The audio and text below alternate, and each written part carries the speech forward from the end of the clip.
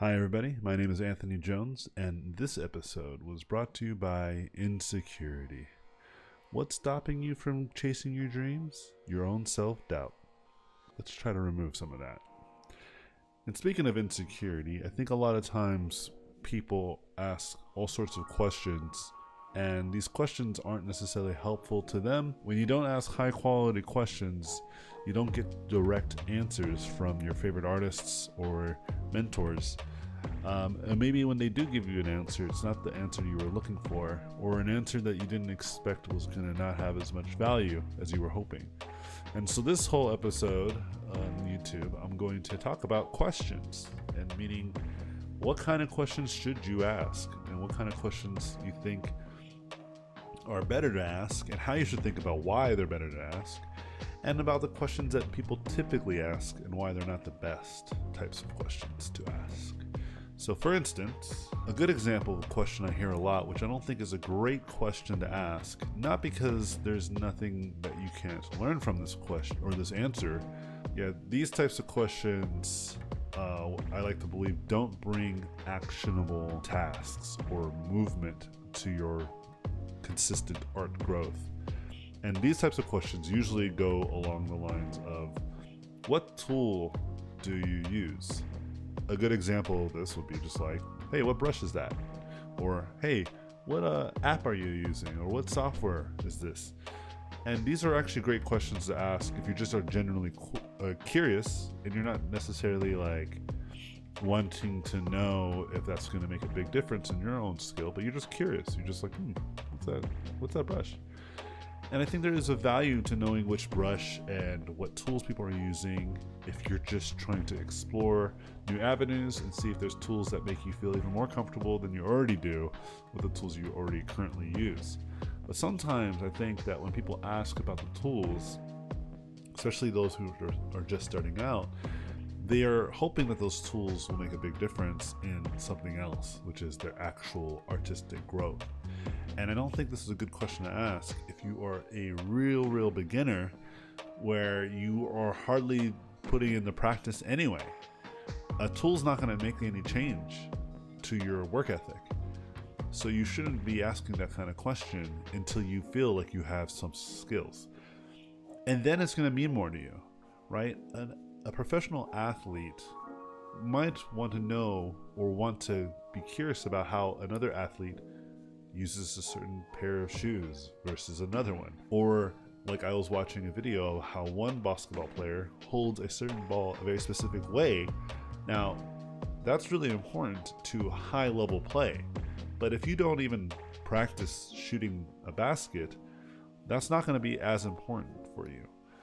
You might want to just get into the gym first and just throw the, the balls into the hoop and see how many you can make and practice continuously and constantly until you have a consistent flaw that you can start to recognize, or you have a consistent uh, efficiency that you can also maximize.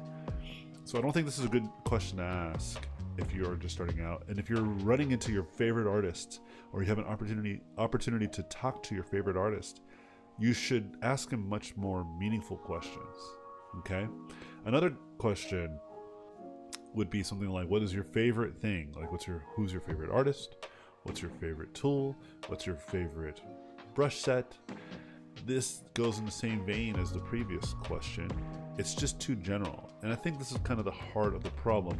The questions aren't specific enough and they're not going to give you insight into that person out of the gate that question doesn't inspire them to a- answer it in a really meaningful way. And so you need to ask a question that will hopefully inspire your favorite artist to basically answer the question in a meaningful, powerful way. So here, let, let, me give you some examples. A good question I think you can ask your favorite artist or your favorite mentor or whatever, if it's tools related, you can ask them, what is it about your favorite tools that make them great for you? Like, what is it about your favorite software that you use often that you think is so great.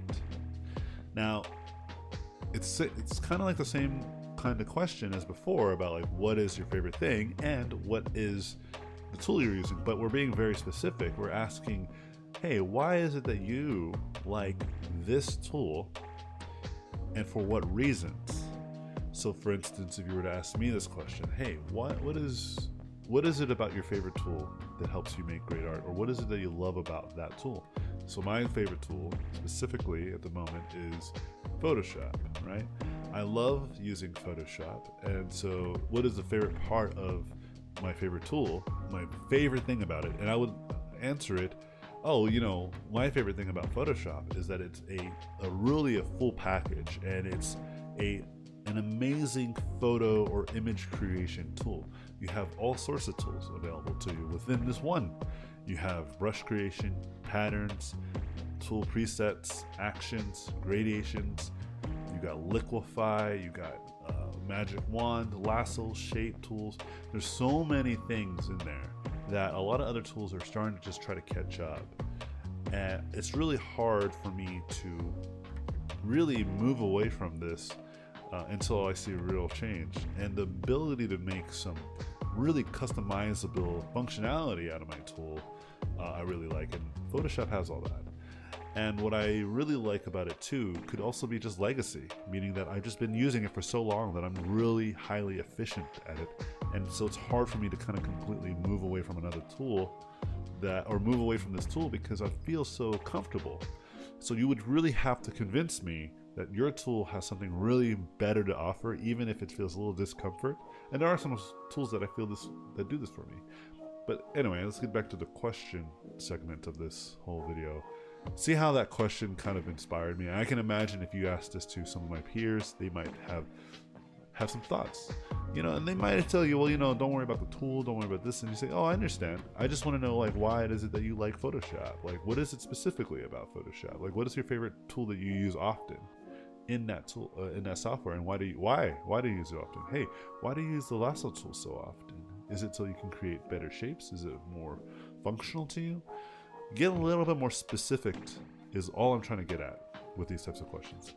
Another great example is what is it what is it about your work that you really like? Like why do you like the things that you draw? What is it specifically that you think that your work really brings to the table even in a portfolio so if you again, you're being more specific. Say, hey, instead of what's your favorite artist, what's your, you're saying, you're asking the artist very personal, like a very personal question. Hey, what is it about your work that you think is really great? Like I love your work, and I can give you all the reasons why I like it. But why do you like your work? Like what makes you happy about what you do?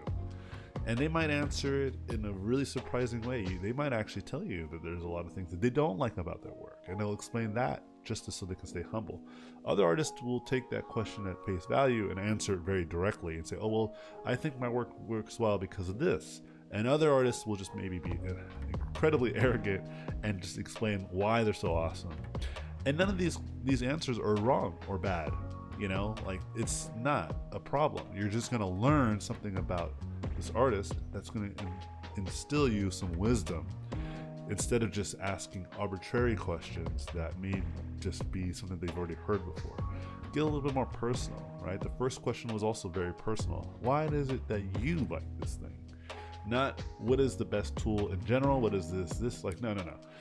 Everyone's gonna have a different opinion about this. So get their different opinion. Ask them very directly and very specifically about their opinion about a very specific tool, knowing full well it's not a generalization, it's a very catered answer that might not relate to you or everybody, anybody else, but maybe some random person in the audience. But you want to know because you want to have a broader understanding.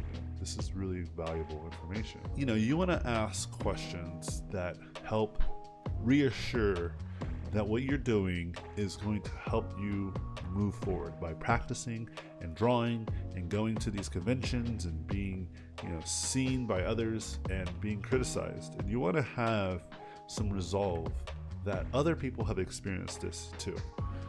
I know this for a fact, not because I've asked questions directly, but because I've just heard people tell me. People cannot tell you enough why life is harder or hard for them. And for many of you young artists, it might be important for you to hear from your favorite artists. What is it about you, you know, that made you, right? And to get that kind of question out, you should ask them something like, So, I'm almost certain you've probably experienced rejection. And if not, I would like to know how that went. But I feel that most artists, especially successful artists, the reason why they're successful is because they were able to take rejection. And I'm just curious how you were able to take on re- rejection and failure because clearly you are very successful and you're very accomplished. And because of those factors and those truths, I feel that there's something you're you have a really strong resolve, and I want to know how that works. Now, see, you could probably shorten that question to something like, "Hey, you know, uh, how many times have you been rejected, and how did you deal with rejection?" But if you try to ask a question that acknowledges the generality of that question, like uh, about rejection, like you're saying, hey, I, I believe that most successful people have experienced tons of rejection and failure in their life, hence is why they are successful. I'm curious to, about your opinion on that. Like, what what do you think you may have done differently to help you mitigate rejection and failure? That puts praise into the person that you're asking question. You're acknowledging that this is not a generalization question. You're again being very personal, and you want to know specifically their experience. You know, then they're going to give you some really solid piece of advice. And if I was asked that question, I've been asked this question in, in many shapes and forms, and sometimes I have not been asked this question, but I know that they need to hear my opinion about this. The way that I usually answer this type of question is very simple. I usually will tell them that it is part of the deal. It is not a bug, it is a feature. To fail, to feel insecure, to feel a struggle. And when you tell people this, especially when they're first starting out in their art career, it really it's really really powerful i've seen it move many many of folks in fact i believe many of you who follow me on my youtube channel listen to my streams, listen to these conversations that I have with other people, uh, because I am finding that common ground. I'm, I am relating my earlier experiences as an artist to you so that you could feel more comfortable and confident that you're on your way too. And I think that's really of value. And I really want that answer and that question to be out there more often. And I think if you guys are asking questions to your favorite artists, these are the kinds of questions you should be asking them to help fight against your own insecurities, to help get answers to questions that you should be you should have a broader understanding.